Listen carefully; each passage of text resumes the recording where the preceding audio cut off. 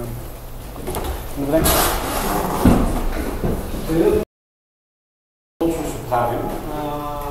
Да ви покажа нещо важно. Това тук, GitHub, както е адресът на GitHub, което ще използваме всички преподаватели, за да качваме материали за курс. Тоест, ние си пишем нашите записки там. Ако на вас не трябва да ви прочетете тия неща или трябва нещо допълнително, тук трябва да разглеждате. На сайта, в принцип началото на сайта, отиваме началото, да се разлогна. И защо не много калата? Секунда. Защото не се вижда. Така. Логат. сайта, като отворите, това, което ще видите, в момента съм преместил между сигурно две няма като курс, защото това води в момента. би било хубаво да се регистрирате всички тук, защото а, тук ще налинквам всички видеа и така нататък. Тук ще бъдат резултатите от контролните, тук ще бъдат а, допълнителни материали, линкнати, някои ще бъдат от GitHub, някои ще бъдат просто линкове към информация. В момента на този сайт имаме форумче, тук съм ви пуснал едно въпрос, че е така да започнем с нещо. Освен в форума, надолу имате програмата, по която ще се водим, да знаете кое какво е. А, по принцип сме ги разделили отгоре, отгоре по седмици, ама а, не, това е отгоре, отгоре. Най-вероятно някои нещата ще се проточат малко повече, затова сме сметнали, че ще бъдат 13 седмици. Смънчко ще почне да ви говоря за тези неща. А, следващия път вече ще говорим за самите типове атаки, а, какви неща се виждат, а, какво, кое какво е и така нататък. И трета седмица, виждате, започваме с криптоязици. това ни е плана тук, който иска, после ще го разгледа целия. Имаме, а, тук ще апдейтна на това файлче, в момента в който имаме информация за залата в момента пише това, което знаем. така, Materials, това е линк към GitHub, на практика като кликнете тук, отивате директно към GitHub. За да не забравите нещо, всичко съм го налинкал тук. Лайв стрима ни се гледа на този линк, няма да отваря тук, защото в момента стримам от този лаптоп и се получава малко инсекшен на работата. Е в момента една плейлиста в YouTube, която е тазна, която от утре ще занимава тия две видеа, които са от днеска.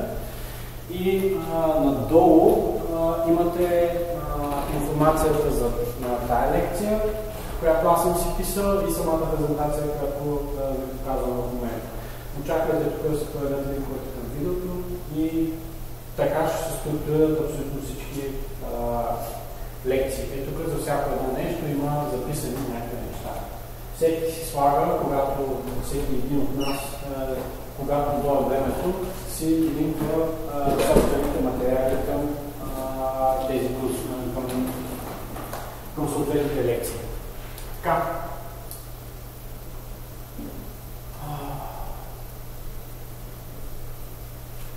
Да продължим нататък с какво точно ще захванем в този курс. Първо, а, след това интро, започваме с типовете атаки. Типове атаки има много а, с софтуера. Ние сме ги групирали в някакви основни групи, като тъй като не бяхме абсолютно сигурни какви да бъдат групите, разгледахме малко книги в тази насока и след известна консултация, която ми е около час, решихме, че ще направим това групиране, което сме направили в момента, още двама за него ще говоря си малко.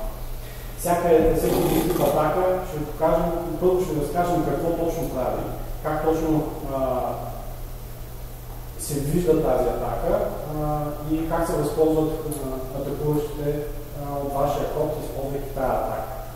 След това а, ще ви разкажем за основни мерки за а, сигурност, т.е. как да се защитите от такива глупости. И нататък във всеки един програмен език решихме, че ще покажем точно всяка една атака какво прави във всеки един език, как тя се показва там. идеята е да изберем всеки няколко програмни езика, тук тия, които са изберени от дясно. беше, че първо това са най-разпространените езици. Не, тук не сме сложили в гол в момента, защото а, не бяхме сигурни дали Кирил ще се навие да говори за тия неща и дали той наистина не знае изобщо за какво става въпрос в гол.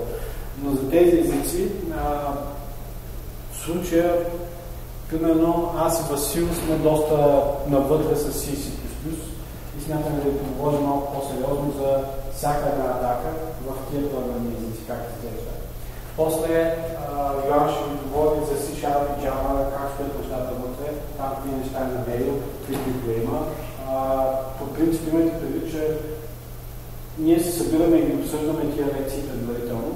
Съответно, knowledge не е само на един човек, на който ще говорим, на повече хора, когато сме си ги обсъдили тия неща, защото въпреки, че не ползвам Java, и аз знам някои тричета за атака на този втория език. PHP, аз не пиша на PHP, обаче не пиша всеки ден на PHP, така ще кажа. Представил съм си, представил съм много пъти самия интерпретатор, за да работи по-сигурно за нас. Очевидно имаше хостинга PHP е много разпространен програмен език, имаме най-много болка от него. И по тази причина ще говоря за самия интерпретатор и проблемите, които има с програмния език PHP и как хората пишат кофти. Тоест там ще показваме атаките, които са свързани само с този език. В някои атаки просто не аплайват за определени езици и това с мънчук ще го обясним.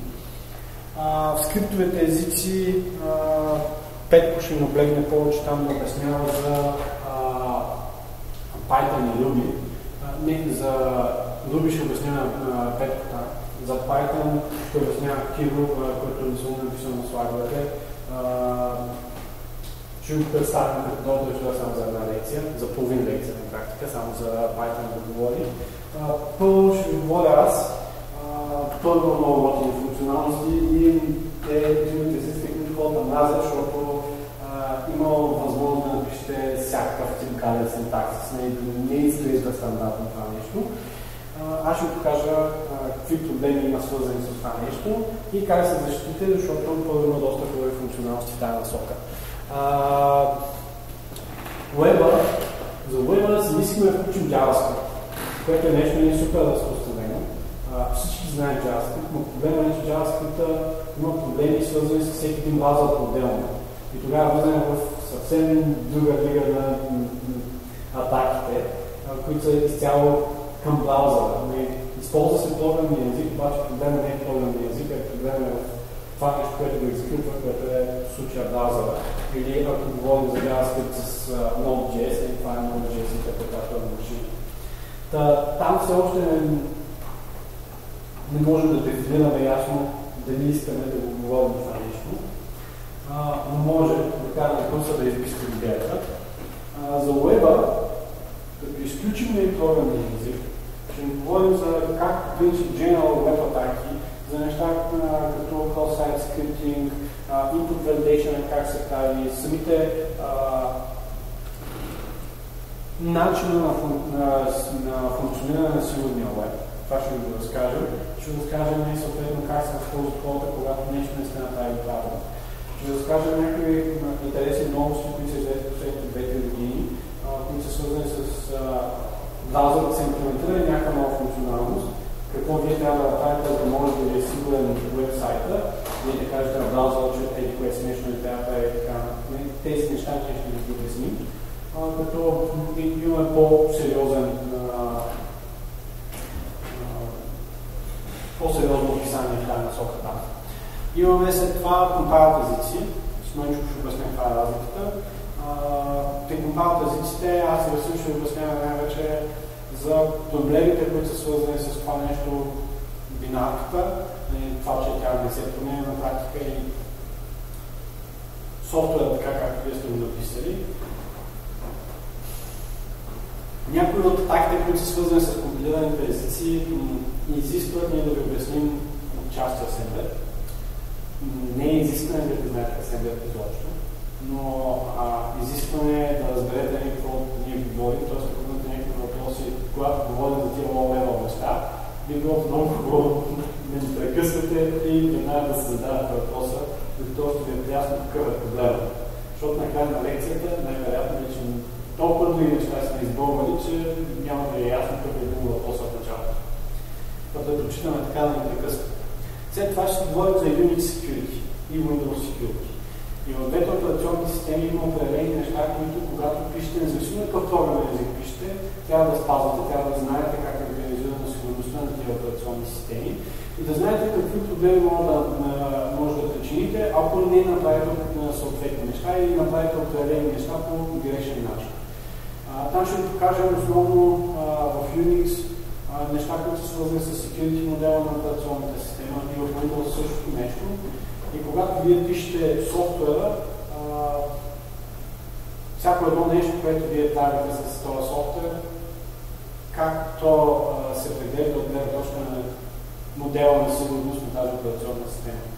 За там съм ще много готини неща. А, аз ще говоря на Unix Security най-вероятно, Борислав ще говори Windows Security.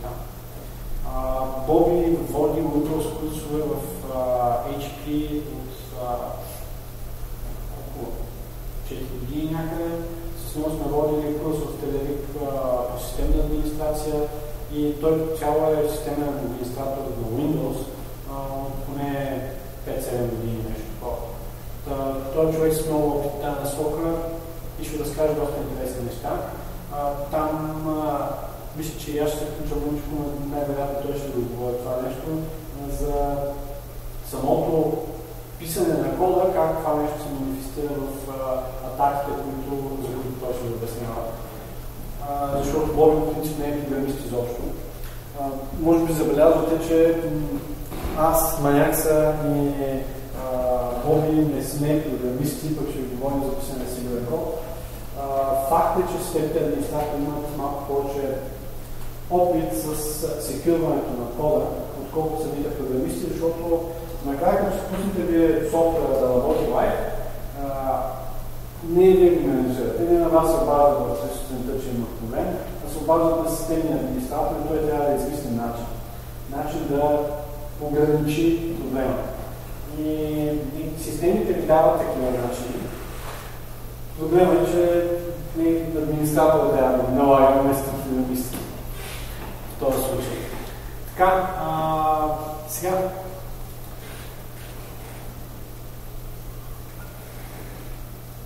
Някой има ли въпрос? Има ли отговор на първи въпрос?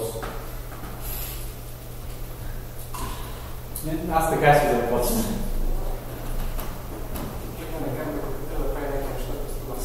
Хайде да накараме компютъра да прави някакви неща вместо нас. А, бих се съгласил до някъде. А, някой от вас ходил ли е да гледа The Imagination Game на скоро този филм? За години? По принцип, основната идея на компютъра е да бъде изключително бърза елка. Проблема на тая елка е, че въвеждането на данни към нея е сложен процес. На практика, онази машина, която казах в филма, там с логите и така нататък, е калкулатор, чист калкулатор. Не, не е компютър, а е калкулатор, който смята определени неща. Готиното в случая е, че като пуснете, тя може да направи тази сметка. Обаче, за да направи тази сметка, трябва да отидат 5-6 човека да завъртат едни локи. Тоест, инпута към това нещо е въвеждането, е завъртането на тия локи на определени градуси, там, определени циклички. Компютъра по принцип така се е развил. Първоначално някой е въвеждал по някакъв начин. Като този начин не е бил грешка. Той е бил строго дефиниран какво точно може да въведе. И за да може да направите това нещо, е трябвало вие да разбирате как работи тази машина, преди да можете да, да я използвате. Както в училище се научили с металото преди да стане първи клас, най-вероятно металото ни изглежда малко странно за нас и е било много по-играчка. така и хората, които разбират програмиране, виждат компютъра, е много хубава играчка, обаче не могат да се говорят с него защото не знаят как да му зададат информация. Програмният език, неговата работа е да ви даде лесен начин за въвеждане на информация към този компютър. Тоест да си насклоните елката по определен начин, за да може да направи нещо за вас. А, след това имате а, какво е компилируем език. Някой има ли отговор тук? Език, който се превежда до машинен код. Добре, така е какво машинен код. Който се изпълнява процесора. Да. А, компилируемите езици, по принцип, идеята е, че а, вие можете да напишете директно машинния код, ако го знаете. Това е което се случва от началото. Всеки писал машинния код, знае какво трябва да му даде като инструкция на компютъра и той правил съответното нещо следва и това на това не си. Му написа, това изпълнява и накрая дава резултат. Бързо ми дава резултат. А, идеята е, че това е било трудно и затова когато се измислили малко higher level език, т.е. някаква граматика, която вие като пишете нещо, което изглежда доста по-смислено за човека, а, това нещо да бъде преведено до всяка една от тези инструкции. Първите такива езици са асемблерите. Асемблерите, и защо казвам асемблери, а не асемблер, асемблерите са за всеки един а, тип процесор отделен език на практика. Логиката е еднаква, обаче а, ви имате X86 асемблер, който е за Intel X86 архитектура. Имате AVR асемблер, който е за а, да настроявате AVR чипове. Имате а, за пиковете отделен асемблер, който има различни а, инструкции, по-скоро инструкциите в него са същите като на, другите, просто с различни параметри. И на, двете, на всичките асемблери има и клипс, обаче просто с различни, по различен начин се изписват тия неща. Да, вие си го пишете това в малко по-human readable формат. Сега тук можем да поспорим доколко асемблер някога е бил human readable, но а, това си е друга тема. Оказвам се с времето, че имаме проблем с този език и то е, че пишем един код, който може да се изпълнява само на този процес не може да се изпълнява на друг тип процесор. Примерно, ако го пуснем от 32 бит процесор на 64 бит процесор, това нещо няма да може даже да се компилира. Освен това, ако го пуснем от x86 процесор и го пуснем на RISC пак няма да може да се да тръгне, защото инструкциите са напълно различни. Затова се, се появили така по-хайер езиците и в тях Основната идея е вече да напишете нещо, което е много. Нали? Да кажеш, if е тази променлива е равна равно 0, е много по-ясно, отколкото CMP е този регистър, този регистър и не вие се, чуете за какво става въпрос. И с времето хората, които се занимават с програмиране, почват да включват едно с друго и да ги разбират тези неща. Обаче в началото това изглежда така, че е странно. Нали? Не е много приятно. Докато ифа или пък for е тук до тук, направи това нещо, тези неща го обясняват. Съответно, компилируемите езици а, са а, тези езици, които дават възможност да напишете нещо много по-ясно за хората, да го преведете на машинен език, т.е. всяка една инструкция, и а, да го направите, да го компилирате за съответната архитектура. И което прави хора обаче, кода ви за една архитектура и за друга архитектура остава един и същ. Тоест, ако вие решите да компилирате за риск процесор, код, който е писан на C, и същото нещо да компилирате за x86 процесор, който пак същия код е писан на C, би следвало това нещо да може да се компилира и за едното и за другото. Проблема е, че резултата, бинарата, програмата, която се получава от компилатора, проблема е, че тя не е мултиплатформена. Тоест, това нещо ще определя за този процес, то може да работи само на такива процеси. Не може нещо от риск да го сложите на X86 и обратно, без да имате някакъв емулатор. Пак компилиралите езици имат този проблем. Обаче пък, това означава, че тъй като вие компилирате, т.е. като превеждате това рая левел език на машини инструкции, и накрая само изпълнявате машини инструкциите, това е най-бързият начин да изпълните вашата програма. Тоест, ако трябва нещо бързо, това може би е най-бързият начин да си направите вашата програма. Казвам може би, защото а, има и някакви други неща, които трябва да разгледате. Добре, следващото нещо, езиците, които се интерпретират. Кажете ми два. Първо, кое? Тук чухте. А, PHP е нещо също такова. Идеята каква е? Сега а, казахме Асемблера, не е много платформен. Сито работи на различни платформи, може да се компилира на различни платформи. Обаче в много, много известно време хората установили, че е много досадно всеки път да компилираш програмата, за да може да разбереш да си направи грешка или не. А, освен това, а, това нещо така трудно, а, трудно разработка, защото ако работят 5-6 човека и един щупи само едно файлче, да се оказва, че това пречи на работа на целия екип, не може пак да се тести съответния софтуер. Другото, което е а, в C, C++ и някои от тия по вече low level езици за нас, тогава, когато са мислени, са били много high level. Там трябва да се работите с вашия си, тя вие да се движите за паметта, което си е голям проблем. Доста, доста грешки в софтуера са свързани точно с това нещо. И в този случай хората се казва, да не мога да измисля нещо, една програмата, която аз да компилирам. Тя ще бъде е писана на друг език, някой те се компилират. Ще ми направи нещо много простичко, което е, когато аз задам съответната командна дефиниция if, това нещо ще го превежда до машинен код on the fly. Само, че за да се случи това нещо, първо просто получава, вие трябва да да е програмата, която ние наричаме интерпретър, защото тя превежда едното от другото. След това тази програма да отвори вашия файл, където е новата програма на скриптовия език. И след това а, всеки един ред там да бъде прочетен, разбран, разделен някакви логически и всяка една логическа единица да бъде преведена до машинен код и да бъде изпълнена. Сега, за да не се случва това нещо, интерпретаторът какво прави? Той генерира, когато се компилира, се генерират отделни функции вътре в този интерпретатор, които казват ако получа тази думичка, ще изпълня този машинен код. Ако получа тази другата думичка, ще изпълня този друг машинен код.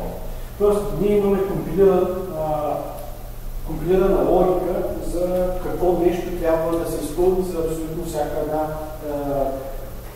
частица от съответния скриптов език. Това нещо забавя самия execution, той е просто причина, че той трябва да стартирате един интерпретатор. Той интерпретатор в много от случаите има повече функционалности, отколкото вие ще използвате. Защото той трябва да има всички функционалности, ако това не е език, който ще работи. Съответно, след това той трябва да пасне целият файл. Тоест, това, това нещо, което по принцип прави компилаторът. И а, да извади всяка една логическа единица, да предаде на собствените си функции, тези функции да се обърнат вече към процесора, да изпълнят нещо и това нещо да се върне обратно като логика в вашата програма. Не е толкова просто да се напише интерпретатор. А, и проблема на тези интерпретатори е, че са изключително бавни. В повечето случаи, ако този интерпретатор не се пусне и да остане жив и вие просто да му подавате нови и нови файлове, това е най-бавният метод на execution програма, която може да пуснете, независимо от операционната система. Сега, тия двамата, които дойдоха отзад, сината бръска е Йоан, а това е Скиран. Какво бръсна? Лъжа. Ти ще можеш ли говориш за какво? За кое за какво? Да. Няма ли такива да говориш за какво? Надявам се, не знам. Мога да бъде нещо за да Значи ще го измислим. Трябва да се да пимби малко, за да решим. Ние това ще пимби. Да, трябва да го измислим това близките една-две седмици, окей? Ние само добре ще го измислим. Добре. Значи, може би до седмица ще имаме повече информация за финалния вариант на програмата на Хрис. Така, хубаво говорих адапт на интерпретаторите. Тези езици въпреки че а, са бавни по принцип, те дават една много голяма свобода на хората, които пишат на тях. И тази свобода те да нямат нужда да компилират софтуера си, да нямат нужда да правят нещо специфично, за да може софтуера да работи. Те само качват едно файлче от е така, или си го изключват от техния си компютър с интерпретатора и това файлче връща някакъв резултат. Този резултат вие след това го виждате и казвате, да, това е правилният резултат, не това е грешният резултат и продължаваме да, работим по съответната програма. Тези са, вече тези наричаме level езици. Тези езици са level, защото а, те са на такова ниво, което има нужда от превод, минимум едно ниво превод, за да може да се случи някаква информация, преди изобщо да стигне, за да може да обработи някаква информация, преди изобщо а, това, което вие сте описали в скриптовия език, да стигне до процесора. Те са много отгоре, т.е. има много неща, които трябва да се случат, преди да може а, този скриптов език по някакъв начин да достъпи а, информацията от него до процесора да стигне. Така, а, въпреки, че те са бавни, се оказват изключително удобни за разработка, защото наистина не пречат на хората а, да разработват бързо и лесно. И второ, а, тях просто а, много от нещата, свързани примерно с memory management, с а, работата с самите файлови системи и така нататък, е изнесена на такова ниво, че вие просто трябва да кажете, тук ми е файла, това файл го прочитам на целия и отиваме и къде си в този файл, да променя или колко си байта. Това става много по-лесно, отколкото трябва да кажете, не сега, аз първо трябва да разбера какво файл, след това този файл не го отворя, след това трябва да видя дали той има край, няма ли край, след това да се преместя или колко си байта, да видя това, тези байта истински са, т.е. да не мога да ги прочита по някакъв начин. Доста от тези функционалности а, са из, изчезнали в тези скриптови езици. Просто те се направили по-лесни за ползвателя на скриптови езици. И последните няколко години а, има така много голям пуш към една друга а, философия. Да, ще продължим да използваме скриптовите езици, обаче във всеки един интерпретатор на скриптовия език ще сложим едно нещо, което се нарича Just-in-Time Compiler. Just-in-Time Compiler са нещо много красиво. Идеята е да може да съберете плюсовете и минусите а, на компилираните езици и интерпретативните езици. Тоест, вие си пишете пак скриптов език някакъв файл. Обаче в момента, в който стартирате за първ път на този файл, се включва Just-in-Time Compiler. Just-in-Time Compiler пазва информацията от този файл и базирано на информацията, която е подадена към а, програмата ви, може да реши кои функции трябва да бъдат компилирани в момента, вместо целия софтуер, само тези, които вие ще извикате, само тях примерно да ви компилират машинен код. След което да подаде инпут информацията на тези функции и то ще бъде като машин, ще изпълни изцяло като машинен код. Готвото в случая, че а, може би ще ви забърза да го кажа по друг начин.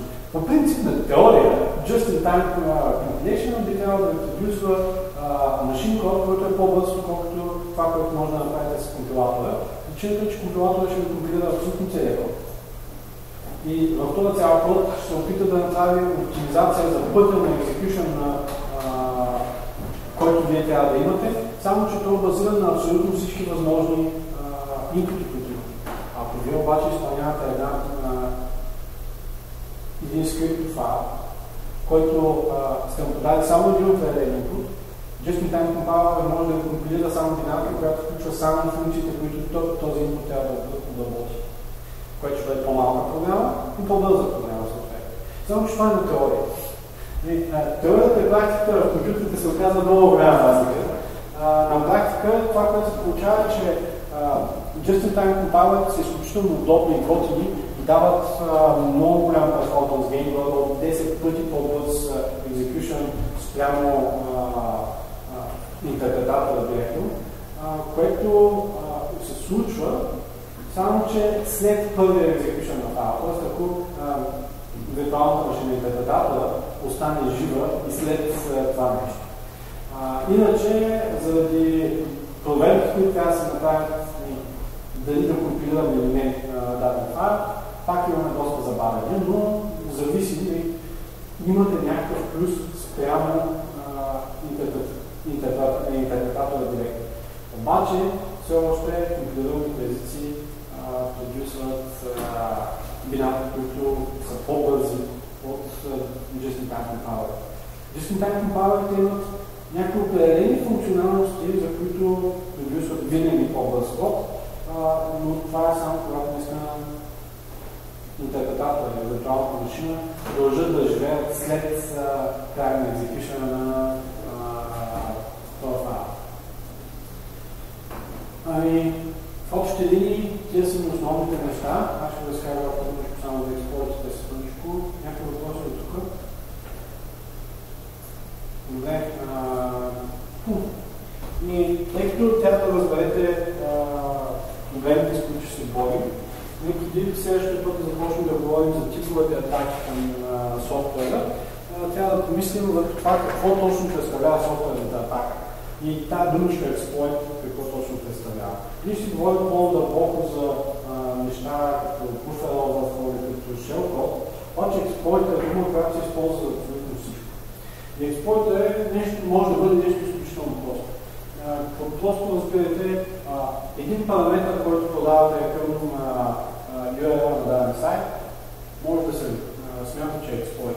Идеята на тази дума е да казва да обединява всички видове атаки към софтуера, които ви дават възможност да почупите по някакъв начин софтуера. От почупване разбираме а, той да не работи, той да работи по грешен начин, а, той да генерира някаква грешка. А, този софтуер да работи по грешен начин, който ни дава на нас нова функционалност, която ни следва да имаме. И а, още нещо имаше, дефиниция.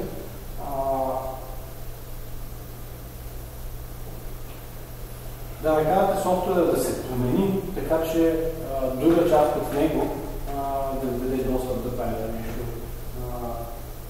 което не би следвало да имате възможност да правите с този софтуер. Експлойтите са два вида, хубави и лоши. имате хубави експлойти, когато, даден, когато изпълните даден неочакван код за програмата, да изпълните и получите нова функционалност, която е хубаво по принцип да имате.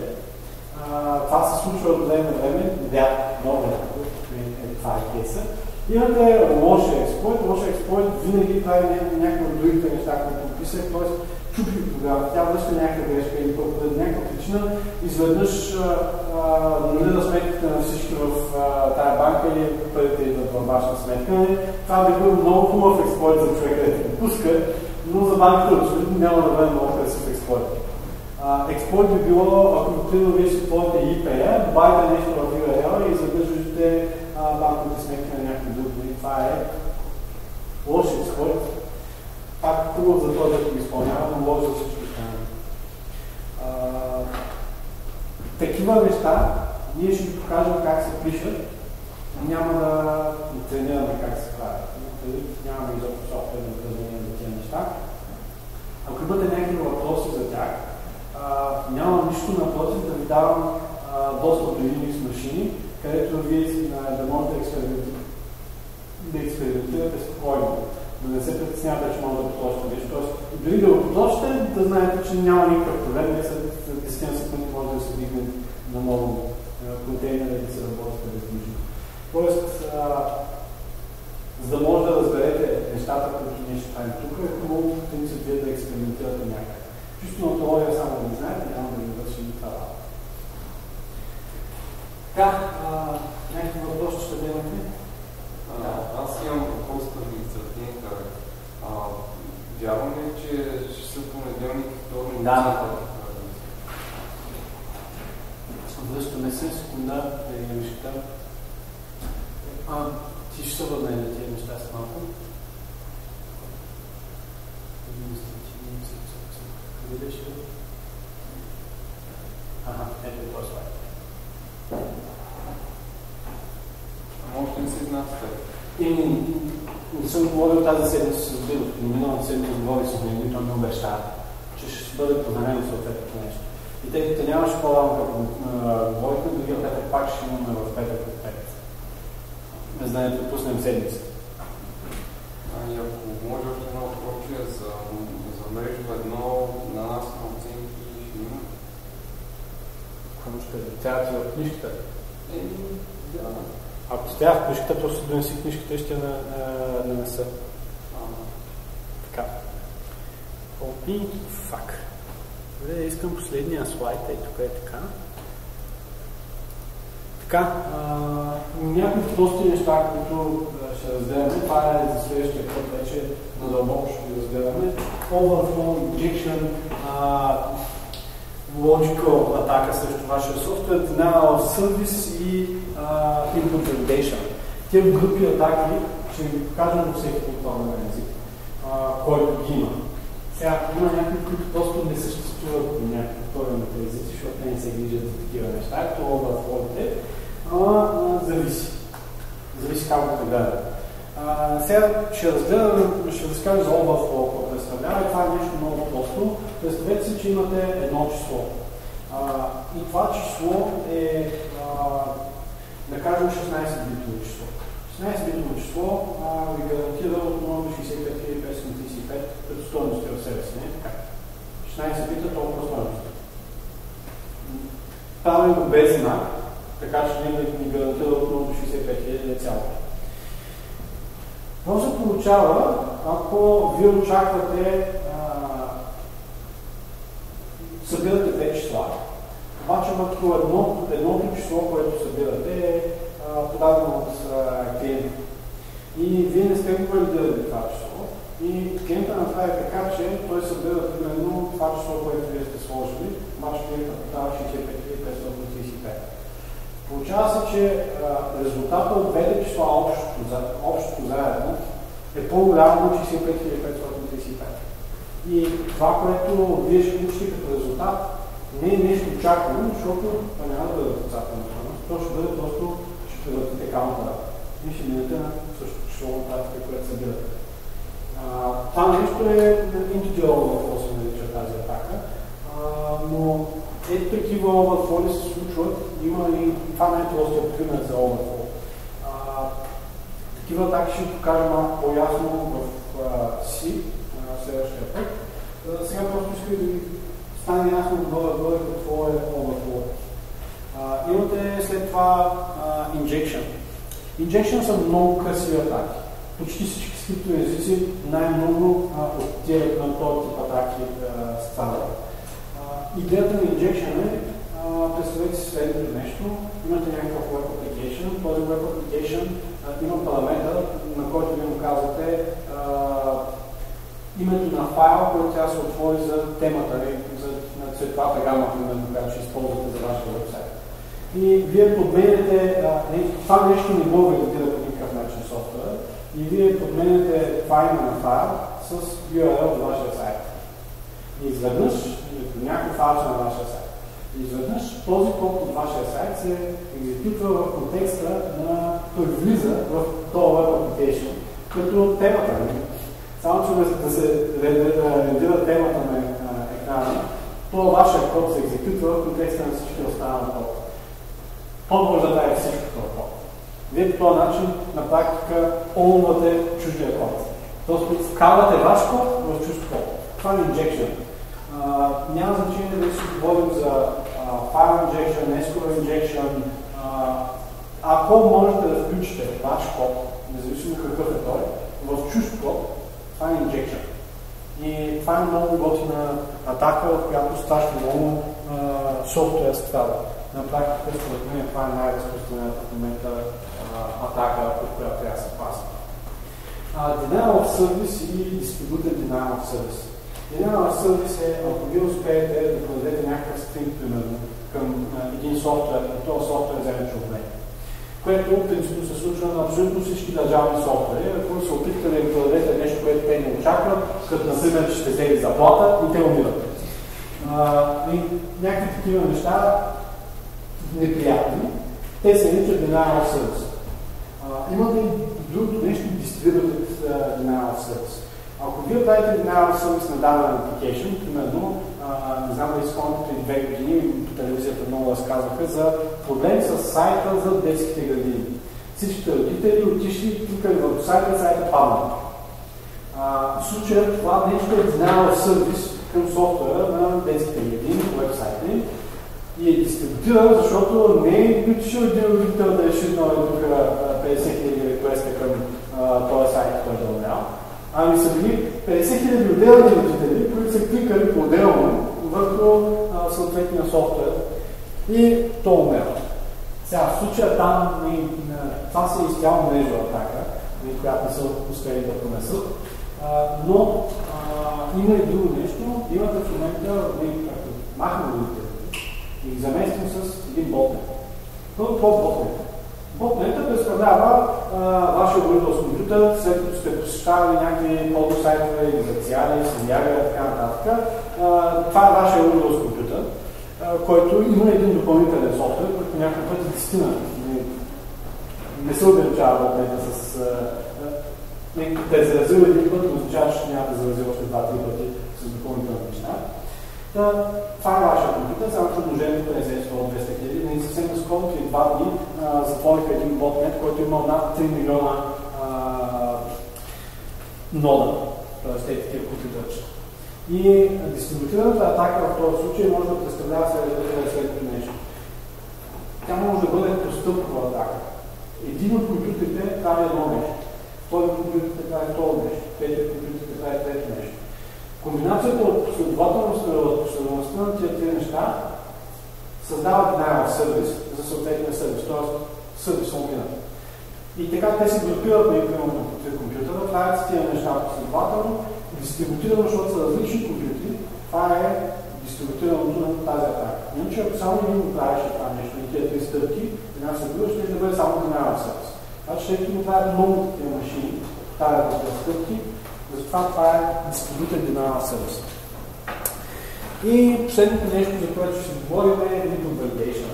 Това е нещо, което най-малко внимание му отделят програмистите и най-много ги хапят влизат. В общи линии във всички книжки пише ако това не го съплавате вие, идва от потребителя или от файл, който вие не контролирате, вие трябва да верифайите информацията, която четете. Факт е, че много малко хора, още в самото начало, да се пишат софтуера, отиват и проверяват тази информация. И факт е, че освен първо няма друг програмен език, който да има а, флаг на интерпретатора, с който да се казва всичко, което идва от потребителя или от файл, който не съм верифайнал, трябва да бъде проверено да се ползва. И а, за другите програмни езици просто хората не може да ги накарат даже да направят подобно нещо. Има много пъти, които това нещо се пренебрегва, поради просто причина, че програмисти казват, да, но това е интерна система. Но като не дойде някой топ шефче и да каже, а на топ наш, що не работи толкова хубаво, що не го отвори публично всички да го ползват. И тъй като той работи вътрешно много хубаво на една-две години, защо да не го отвори? Само като като са описали хората вътрешно, се има предвид, че никой няма да отиде да вкара автобус нали, в Табант. Е, и това нещо не работи по правилния начин накрая, като го пуснете лайф и отиват не, примерно медицински записи, изчезнали, неоткраднати, тук базата данни на полицейското управление изчезнала, умряла. Някакви такива странни неща се получават, защото просто хората си правят някакви заключения в началото, които са то това ще работи в среда, в която никой няма да се да чути. Трябва да приемем, че още самото начало заложи на нашия софтуер, в един момент от ще има някой, който ще иска да го щупи. Трябва да приемем, че ще има а, лоши служители в нашата фирма в един момент от които няма да ги интересува не да работят коректно с колегите си и да си помагат. Ще ги интересува как този да направят по-градно на колегите си и някой ще изтърве един сам слитеница на това в клавиатурата на колегите, друг може просто да реши да използва знанията си да щупи софтуера на фирмата. Зависи. Та input validation е изключително важно нещо. Идеята на това е всяко, всяко нещо, което не е генерирано от а, функция, чиято, чието параметри не идват от потребителя по никакъв начин, трябва да бъде проверена. някои хора стигат до такива а, дължини в описването и в следването на този принцип, че нямат функция, която да не проверява типа на данните, които а, влиза в тази функция, независимо от къде е повикването на тази функция. Така че имайте го предвид, това е важно. И може да не ставате чак такива педанти, обаче е важно всичко, което идва от потребителя да бъде верифайно. Да, и аз преди с това, ти не каза какво е логика. Какво? Ти не каза А, логика го пропусна и да, извинявам се. Да, логика е много, не, тая е много красиво, красив тип атака. Идеята е цялата логика на апликейшена да е а, грешна. Тоест, не да е грешна, да можеш да използваш логиката на апликейшена срещу нея. Това само се сетя за някой по-късив пример, без да нещо да го забравите.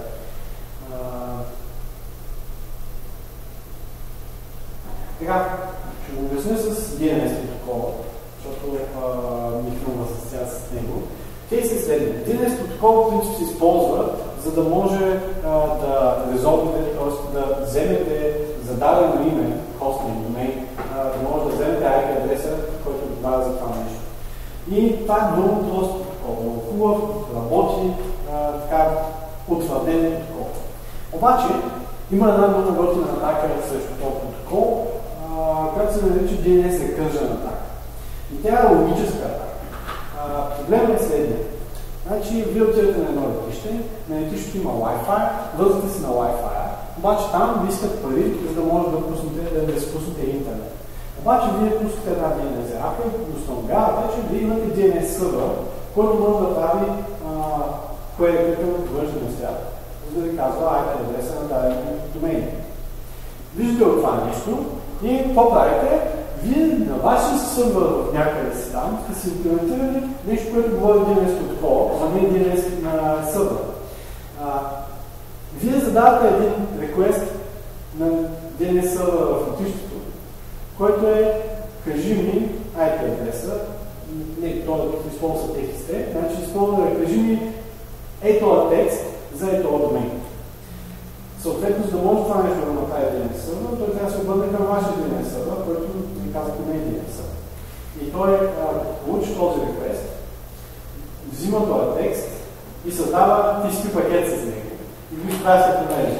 След това отговор на този TCP пакет го взима и го праща като отговор на DNS заявка, която сте направили, праща на DNS сервер в летището който е задължен да ви върне на нас този отговор. Вие го прочитате този отговор и вместо да, да си мислите, че това е отговор за гения за авторите ви, просто го трансирате като тишки пакет, го прочитате като пакет и ето току-що направихте и изпратите един тишки пакет и получите неговия отговор а, през DNS протокол. Това е логическа атака към а, DNS протокол. DNS протокол се работи DNS също работи перфектно, точно така както се очаква. Само, че ние направихме това, което не се очаква. Нали, те се смятаха, че задължително ще платим пари, за да спуснем интернета. А на практика спуснахме интернет през къщи, като използвахме логическа атака спрямо софтуер. Използвахме го точно така, както работи. Но го използвахме за да атакуваме цялата система. Има други типове логически атаки, които са много готини също. Представете си, че а, само да формулирам малко. Логиката на програмата е да пише в даден файл. Обаче файлът се базира изцяло на юзернейма, който ви използва. И а, по принцип юзернейма, вие веднъж го съплавате, те, системата е верифайла, т.е. юзер съществува и така нататък. Обаче след това системата по някаква причина дава възможност без интерфейса, примерно вие да кажете това е вебсайт и по някаква причина юзера се пази в куки, вие да си подмените юзернейма в това куки.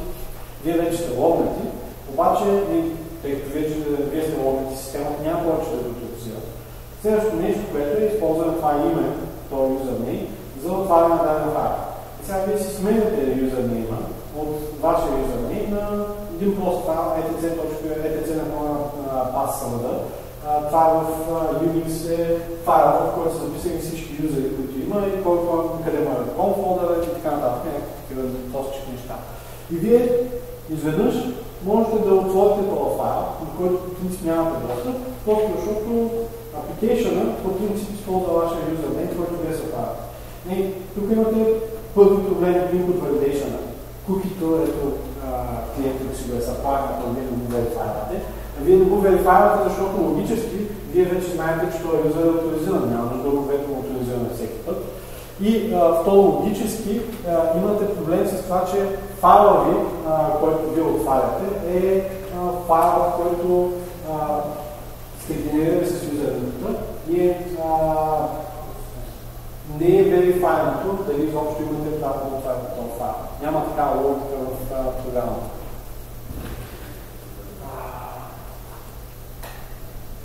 Нещо да обърка, че там гледам се ще шукат да, дай да например. Как го ще да? Да, да, не. Си спомня това, което сега готвя вкъщи, но мисля, че ще го видя и ще го разпиша това. Ами това е за логика. А, логически има доста... Логическите атаки са най-гадни за забелязване във вашия софтуер. А, там основното нещо е, че те се базират в това, че вие не сте направили нещо в някакво другите случаи. Рядко, рядко не казвам, че го няма, е, се случва да имате логическа атака, когато сте направили абсолютно всичко останало правилно. И все пак ще трябва на логическата атака по някакъв начин да а, да промени нещо, може да се случва а, тази атака. Рядко, ако всичко друго сте направили правилно, може да се направи логическата атака освен когато ли софтуер, той трябва да работи точно така, както е с DNS сервер. DNS сервер трябва да отговаря на DNS заявки. И вие изпращате нещо, което изглежда на request за DNS заявка и получавате нещо, което изглежда на, на DNS отговор. И той тогава да се върши работа точно така, както се очаква. И това е най-хубавият пример за логическа атака, защото той работи точно така, както трябва той сервира тия данни както сега. В същия момент обаче вие на практика сте излезли на пуснете на мрежата. Такива атаки са по-трудни за намиране. Бомбата логическа атака.